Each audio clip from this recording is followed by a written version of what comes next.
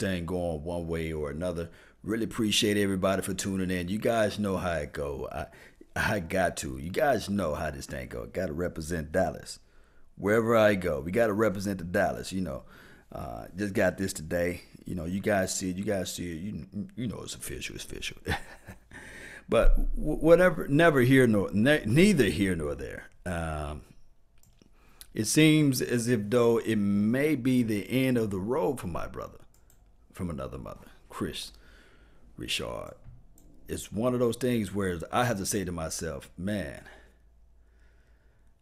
his ability to uplift this team, to bring him, bring everything around. Uh, man, I don't know what Jerry Jones is uh, going to do with this whole scenario.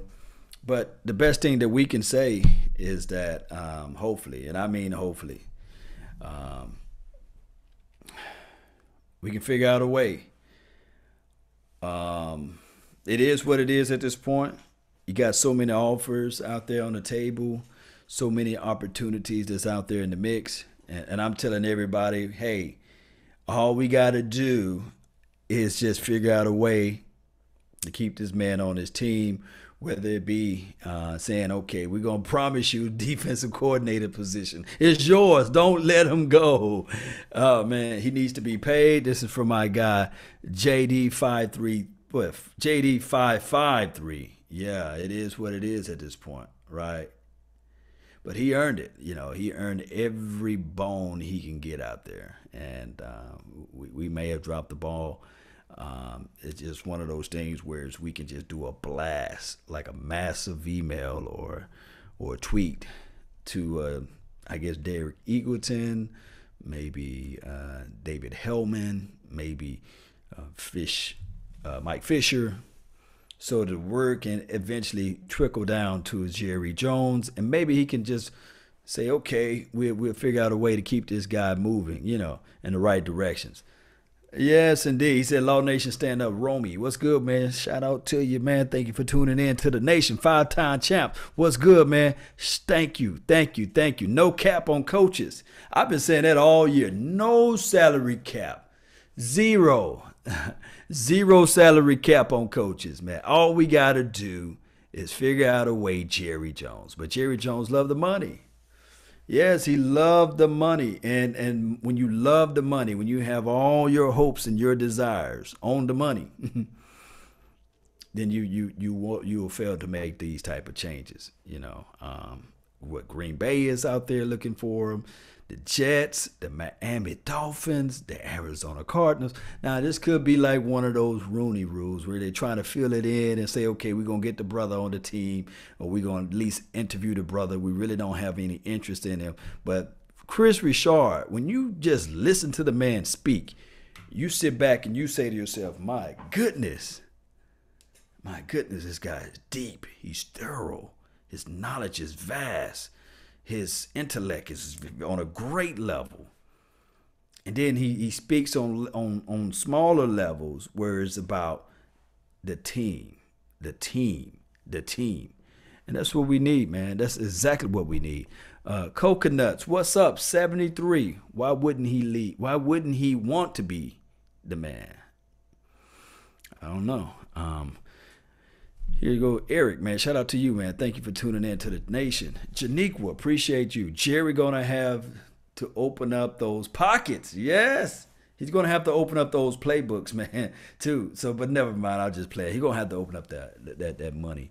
He's gonna have to pull it up and say, okay, hey, I'm a billionaire with a B. And the only way you can spell billionaire if you put Jerry in it. So I'm gonna go ahead and pay this man to make him the highest paid defensive coordinator out there but somebody gonna argue the fact like, hey, what if he's done really? You know, and, you know, this is Rod Marinelli's team. This is not his team. You know. Uh, but we can see the difference. Those who've been following the Cowboys for a long time, we can just see the difference as it relates to attitude play, right?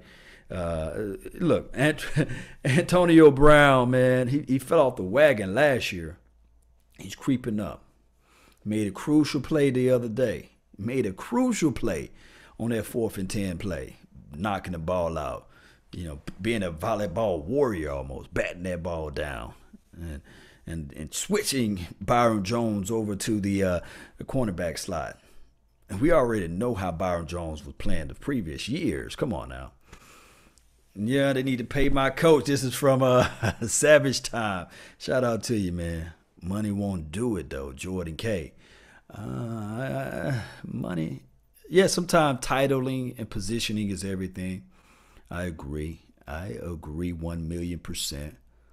But man, man, just pay the man the money, and, and just give him the offer at least. Don't say, okay, go go out there and and see what you your value will be because a lot of times uh, a lot of times when we look at it we look at it from this aspect right when somebody goes to another team to, to be the head coach of the New York Jets it may not to from our from our perspective it may just be like okay you go in there you're to be crashing burning but we as men we like to conquer we like to be the sole survivor. You know, we like to say, okay, no one climbed this mountain before, and so many times, you know, these people fail. I can do it within the, the, least amount of time, and I would not. I, I will conquer. I would not fail. I would not fall to the to the wayside. I am a conqueror. You know, so we like those challenges, and that's what life is all about, right?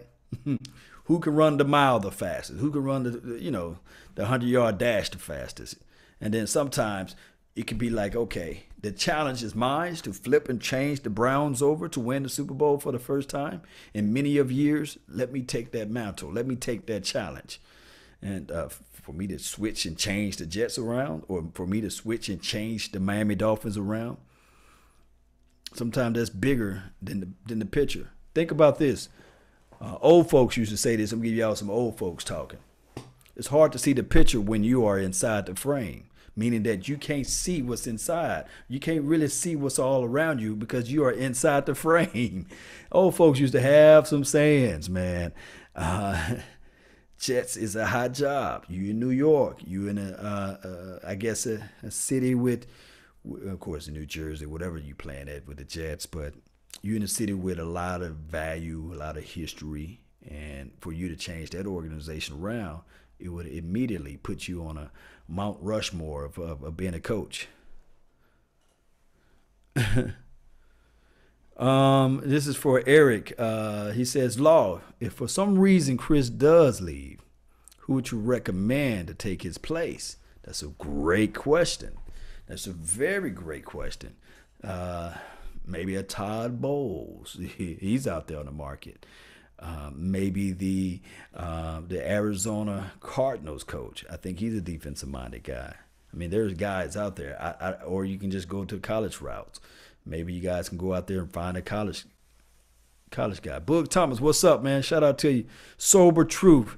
Uh, I heard the Jets are interested in Kliff Kingsbury as well. I mean, that that would be you know, uh, the angle. You will still, even if you get a cliff, you will still need a defensive coordinator, right? so, I mean, you can do it vice versa. You can hire Kris Richard and say, okay, since he have, uh, uh, I guess, NFL experience now, and um, and you have a fantastic offensive mind uh, decision, let me just merge these two together, so it can go, it can go either or either way. Yep. Um, and I think this game right here that we let me just move over to this talk right quick. I'm gonna insert this into Kris Richard maybe gone talk. Let me insert this right here.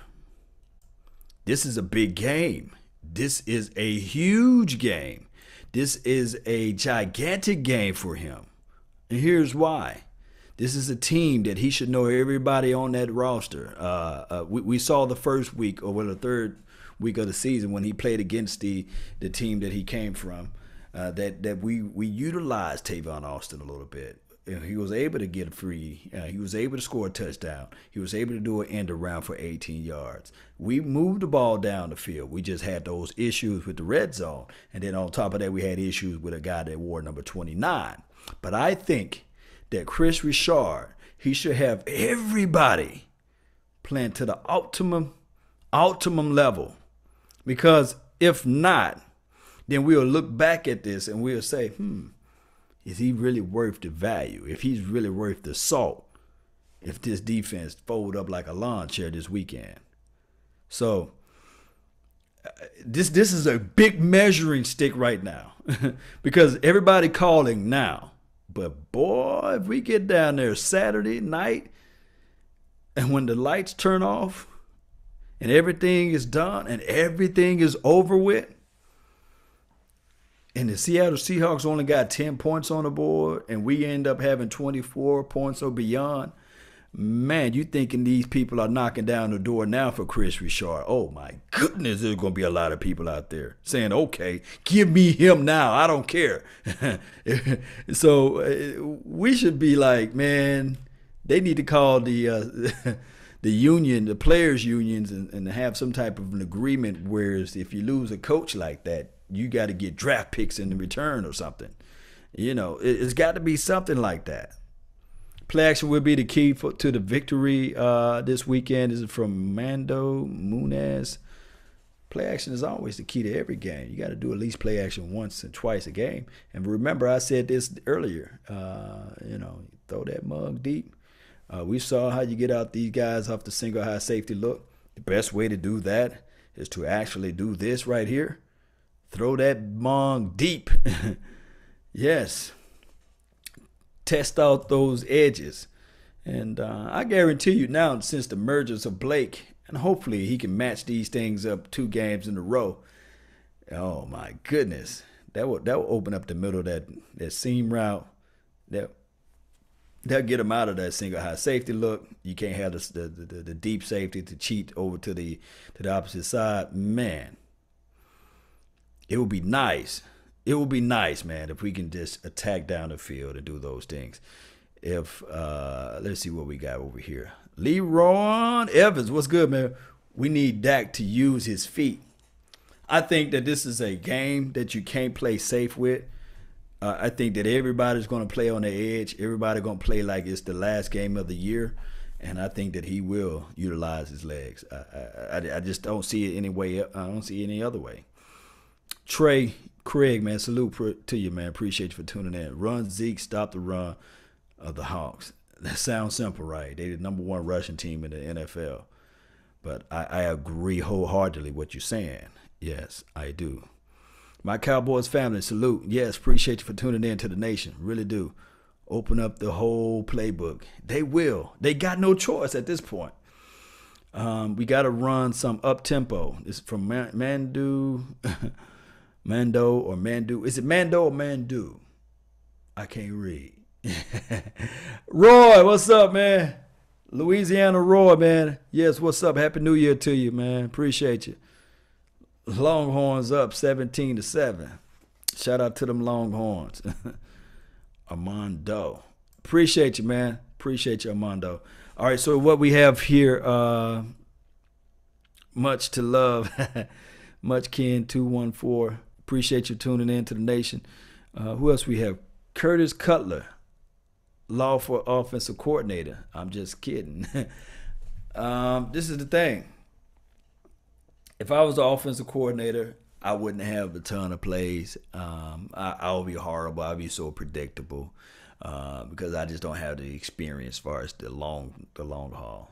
Now I can be an advisory. I, I think that I that will work out better for me advising uh, uh, uh, them what to do. And I know a lot of people are going to laugh at that and say, man, what the hell this guy talking about? He's going to advise me. It's hard enough to tell people who make $45,000 a year what to do, right? and then it's hard to tell people who make 90,000. It's hard to tell people who make probably 120 million.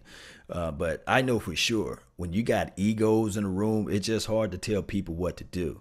And that's just the bottom line. So the best thing that we can say um, when it comes around to the National Football League and everything like that is that we can be as fans, critics, and also uh, try to analyze things to the best of our knowledge and just look at it from a fan's point of view. And that's what I try to do with my channel. I, I bring everything on from a fan's point of view. Um, I just look at things the natural way of looking at things, as far as uh, what need to be improved on, what I can see far as tendencies. Because put it like this: I don't make six hundred thousand dollars a year or eight hundred thousand dollars a year, right? But the guys, the opposing teams out there, their coaching staff makes beyond that. And that's their job for 24 hours. If they can pull out, if I can point out things, I know for sure they can pull out and point out things that the uh, opposition is doing or uh, what, what the Cowboys' tendencies are and what they try to bring home and things like that. So that's what I try to bring out, you know. But far as uh, Scott Linehan, his vertical offense, to me personally, it's working uh, to a small degree with this particular quarterback. Now, you can only imagine Dak Prescott with a West Coast scheme, you know, scheme. I meant to say a West Coast scheme. he'll be even he'll be better, you know. Or if you can imagine him with a spread offense like a RPO or or a design that for that to be the main offense, you will see a difference, man. You will see a difference in the skill set, his play, and all a whole bunch of stuff. But neither here nor there. Let's see what we have over here. Tyrone, what's good, man? Sean Lee has been the best backup uh, linebacker we have. Mm, yeah, yeah, yeah. Sean Lee. Shout out to Sean Lee. I am Jazzy. What's good? Dak is better outside the pocket. I agree, one million percent. Him rolling out now. Uh, eventually, you want him to grow and develop and passing into the inside and stepping up through his throw. But right now, we don't want to see that. Right now, come Saturday, we want to see him doing what he did with the Giants, but we just wanted our defense to, you know, stop them a little bit better. But we want to see Dak Prescott roll into his what? Right. we want to see him roll into his right, not to his left. Of course, that, that touchdown pass to Cole Beasley, the, the, the, the, the one that captured it all was to his left. But collectively, we want Dak Prescott to roll out to his right. We don't want no new stuff. We want him to uh, if now if the pocket is clean and if the throw is there, yes, step up through step up through your throw and things like that. But outside of that, roll that brother to the right. If it's there, take it. If it's not, run the ball with your legs. Ha- do some reverse. You roll to your right. Have Tavon Austin roll into his left. We can set up a tons of plays with that. And, and this is the thing when we saw the empty formation, uh, the, the thing the thing is when I saw the empty formation this weekend, my goodness, when I saw the empty formation, they had Tavon Austin to the right side of Dak Prescott. My God, my brother from another mother, no other. Cole Beasley to the left side, inside. And um, empty formation, meaning that they don't have no no running back, nobody. And they they actually did it out of 11 personnel, so they only had one tight end out there, and I think he was lined up to the right. I'm trying to do this all from recall or just imagine this play. And what they did was everybody, the Giants were like, "Oh snap! How am I going to stop this?" Because we can send the pressure, but we know for sure that that if this number 10, if he runs vertical, it's going to be one on one. So we can still man up everyone, and we still got Cole Beasley to worry about. They had a they fool around and left. They was in their base formation. They had to put a linebacker on Beasley, and they had a linebacker for crying out loud on on Austin, and everybody else was manned up on the outside with the two single high safety look. And I said, man, if you give those two guys those little short area quickness that they got one on one into the inside, is over they didn't know how to stop that. I was looking at the tape, I rewinded, I rewinded, and I was actually working on film on that before I jumped live. And I was saying, I was looking at that film, I said, man, that can be a deadly combination to teams if we can maintain at least three or four seconds for protection before they can run that little shallow cross route or drag route across that middle. My goodness. It's possible, guys. It is possible for this offense to step it up to not just this level, but to this level. But get, getting back to Kris Richard, man, that's enough of me talking about the offense. I'm talking about Kris Richard right now. How are we going to keep and maintain Kris Richard on this team? Jerry Jones, reach deep down in your pocket. Go call those investors. That's the star in Frisco.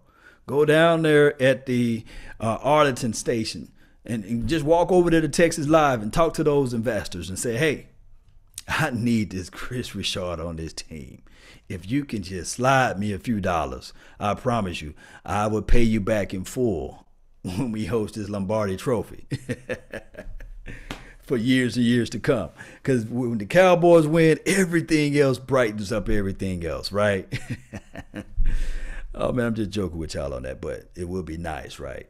Jerry Jones need to do that one way or another. Let me see who else we have in here. Lean, 18, what's good? That got to get a little more comfortable with his footwork. I agree, but uh, he is working on a lot of that. Uh, David G, what's good? Richard is out. Todd Bowles will be back in Dallas as a defensive coordinator. Hmm. He speak. He's spoken with convictions. Anybody knows that true? Todd Bowles not a bad defensive coordinator as well. You know, he he's a good guy. My thing is when you got too much food to eat, sometimes you eat too much of the wrong thing and you don't eat everything that you're supposed to eat, and then you become the New York Jets. not being able to manage the team. Now Todd Bowles a little different. He's a very soft, subtle spoken guy. He's not a fiery guy. And you guys know that we got too many soft choir boys right now. Jason Garrett, he's he's a clap clap guy. And I'm not trying to throw solder and shade at Jason Garrett. It is what it is. That's his pedigree. That's his style. That's his motif, as I normally say in certain categories. we needed that fire and brimstone guy. We need that balance, man. Kris Richard is a guy that's going to get into the face of his players and say, why in the hell you didn't turn your head around? I don't care if you is Byron Jones. Turn your head around. And then look at me. Look at me. I'm a man when I'm talking to you. That's the type of fire Kris Richard brought to the team. And that's what I like. That's the that's the truth. That's the honesty. I, I, I wish I could paint a picture and different make different narratives about it but it is what it is. Some people need that type of fire and brimstone type of guy to speak with his full passion to these people. And i think that that's what uh, kris richard brings to the team. I, I think I think of uh, guys like Ray Lewis's of the world. If he ever become a coach or something like that, speak fire into his teams. Um, I think of the, the Terrell Suggs, those guys, man. Even a Bart Scott, even though he'd be on first thing first, I'd be busting him up across his head on my shows or what have you. So we need that balance, guys. Um, are the so-called experts are picking the Seattle Seahawks to win? Shaking my head. I like look. Brian Bradford, I like being the underdog. I like when everybody counters out. Uh, I am Jazzy say Mr. Clapper may Maher bye bye bye. I don't know. You talking about Brett Maher? Maybe Brett Maher need to be gone, but the guy can kick the uh, the 50 yard field goals. You know, it's quite funny. It's uh, it's crazy to me that uh, anything beyond 50 yards, Brett Maher can make him But anything kind of close, we all we all like bird box around this mug. We like, oh, please, please, please just make the kick, make the kick. I don't want to open. I open my eyes. We like bird box around this joint, man. man, that's the only thing that scares me this weekend. Brett Maher with a 33 yard field goal kick, and uh, will it, will he be able to make that kick? Will it go through the, or is it wide right? All his kicks, all his misses are like wide right.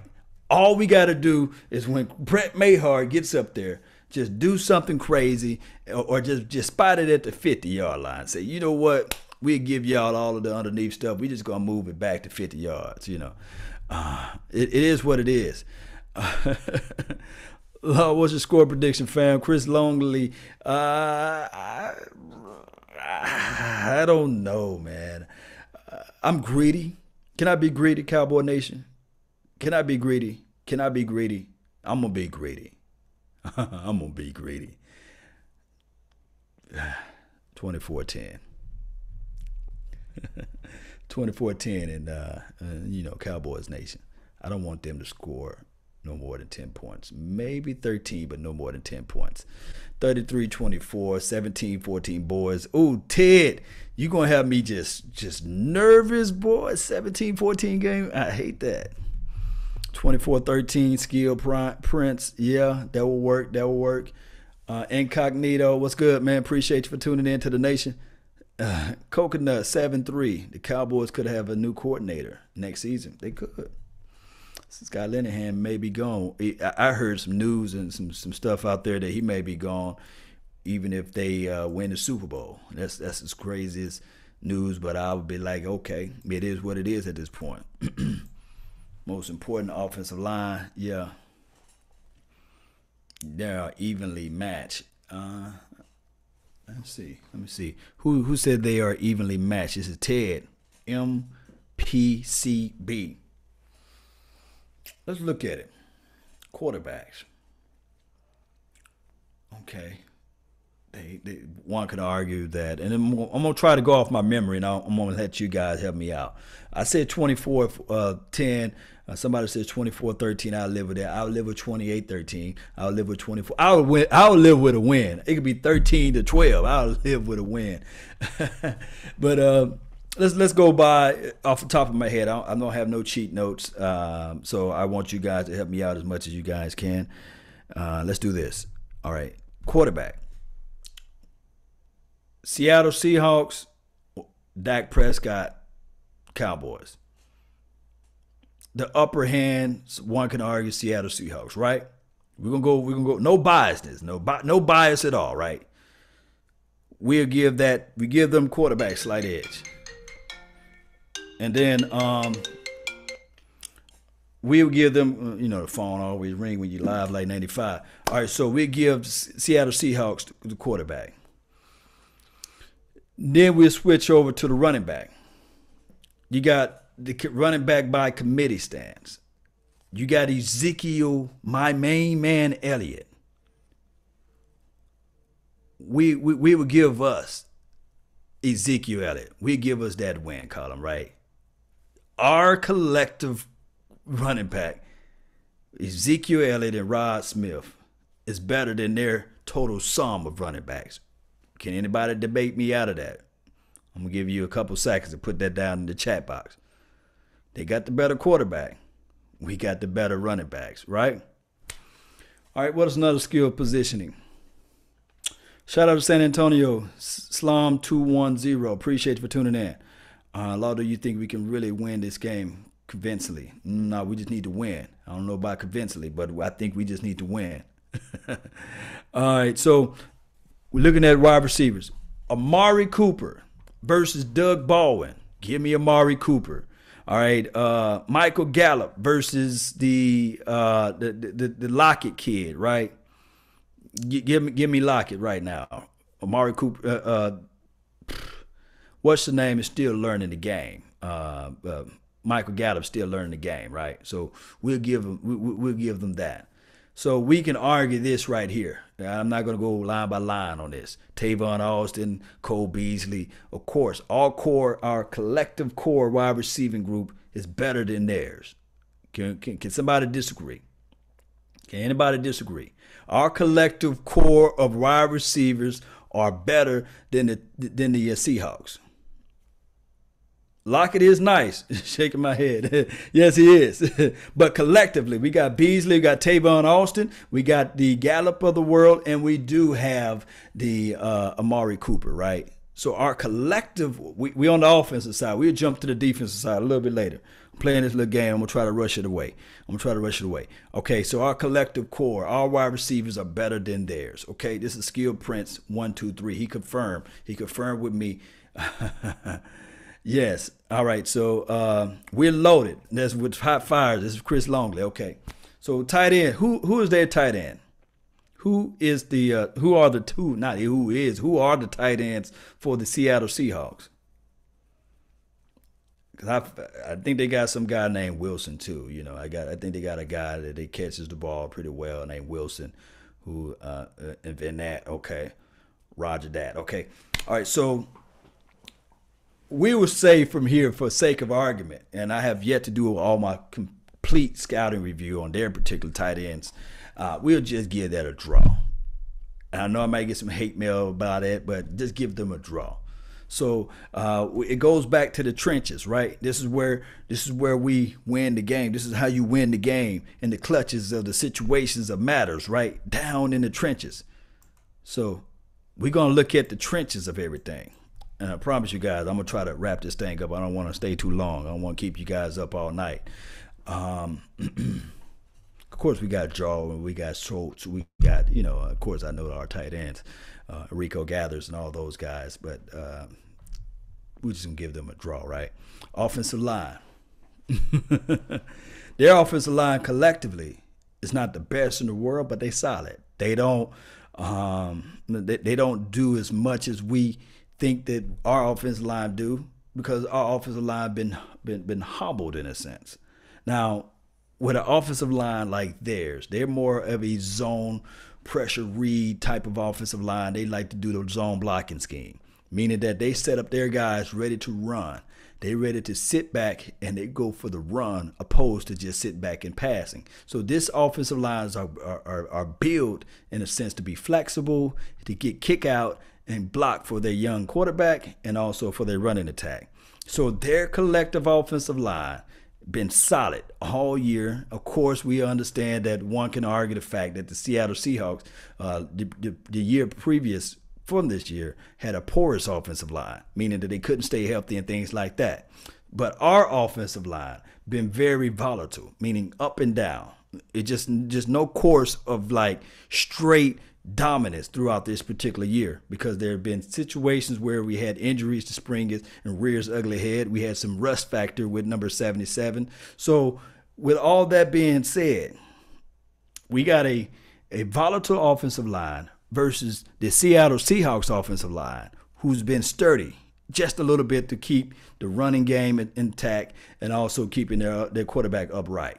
Now, do do uh, Russell Wilson get sacked a lot on third downs? Yes. Yeah, I think he's like top five getting sacked on third downs, and Dak Prescott is like number three or something like that.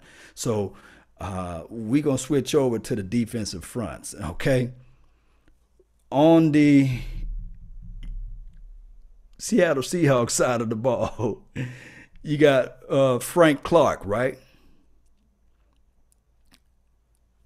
Versus D Law. Who would you rather have, Frank Clark or D Law? I don't have their full roster in front of me, so I'm just going off of my memory. We strong, right? Give me D Law. Give me D Law. And I hope I'm saying the man name right. It is Frank Clark. Let me know if you guys can correct me if, if I'm not wrong, right? Help me out. They got Frank Clark. Clark is a dirty, but I like it, you know. Not Saturday though. This is my, Mondo. Yes, yes, yes, Armando. Give me D Law any day. Yes, what's up, Junior? Uh, Janika, what's up? 212. Everyone, please make sure they smash that like button. Yeah, smash.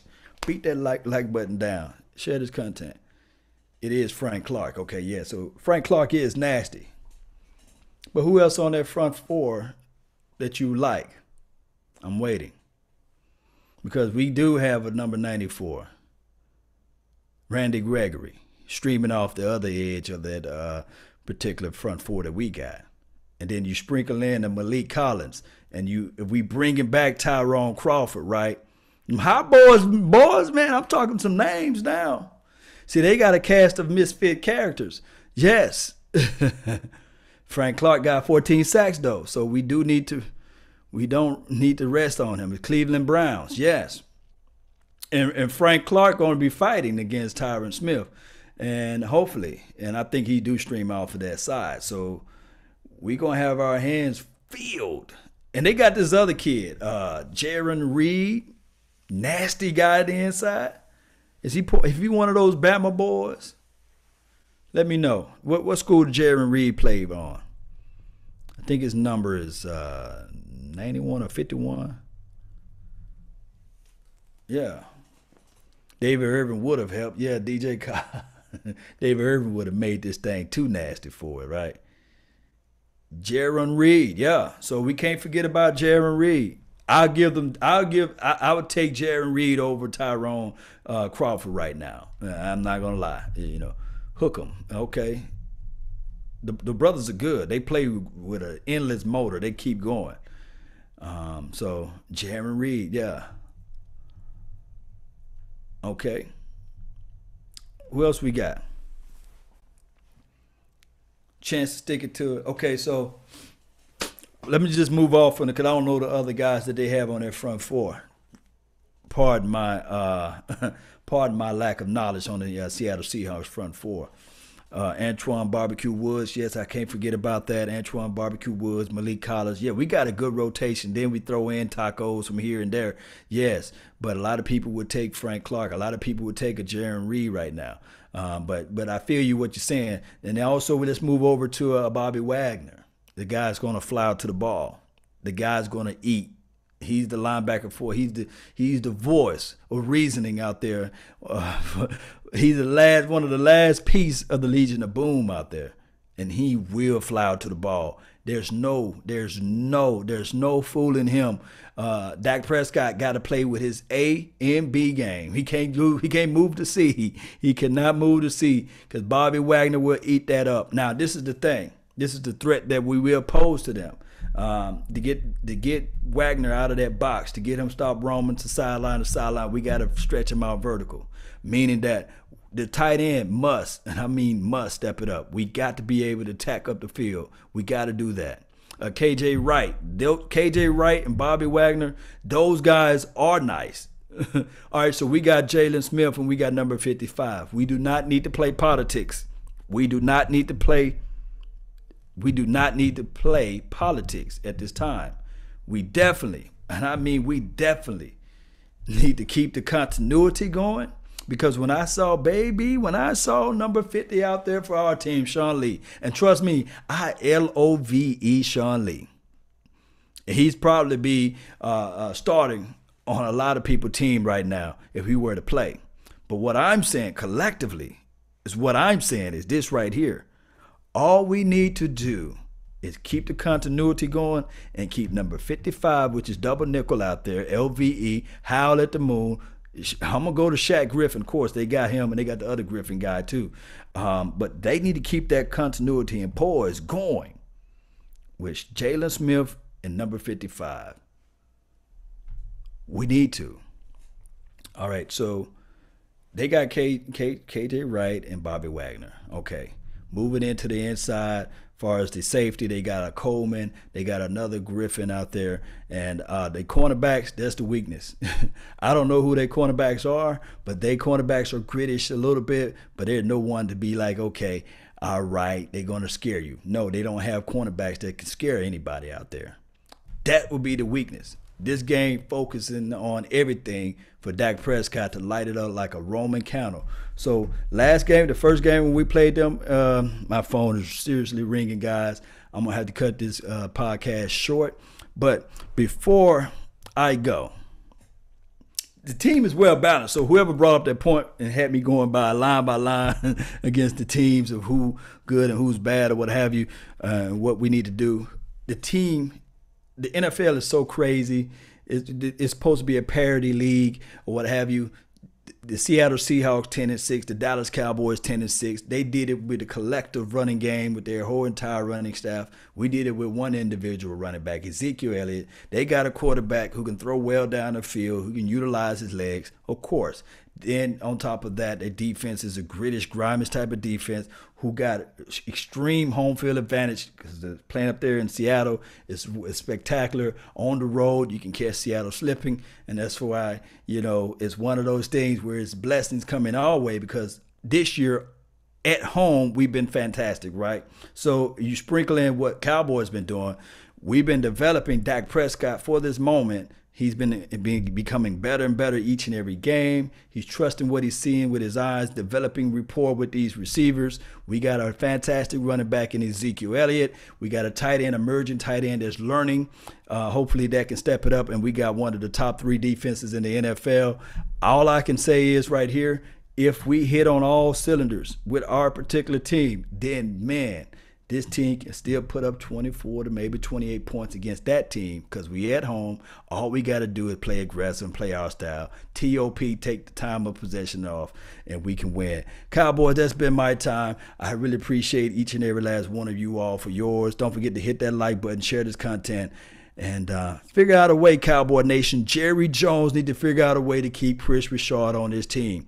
And that's all I have to say, man. Hopefully he don't go anywhere, but the writing is on the wall. He is leaving. He's maybe gone to another team. Sometimes I mean, opportunities can be too bad, you know, too too bad for us for to see him go and good for him for him to go. So that's just how it goes, Cowboy Nation. It is what it is at this point in time. I really thank you all for listening in to the nation. And remember, you're listening to nothing but the best. Salute. I'm out. Happy New Year. Peace. Let's jam on out, baby. Mm-hmm.